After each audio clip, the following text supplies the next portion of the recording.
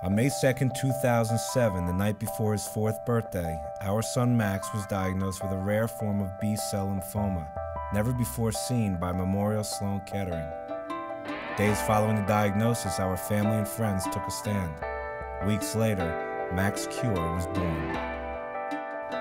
This is David Plotkin, Max's dad, co founder of the Max Cure Foundation for Pediatric Cancer Causes. I invite you to dunk your kicks. For every pair collected, we will raise money and awareness to help those local families in the community battling pediatric cancer.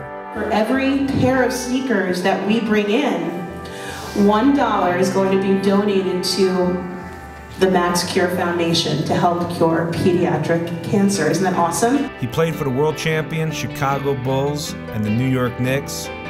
Our friend Trent Tucker is now on Team Max Cure, and we're telling you to dunk your kicks. We are literally taking steps towards making a difference in the lives of so many families living with the disease. So, what do you say?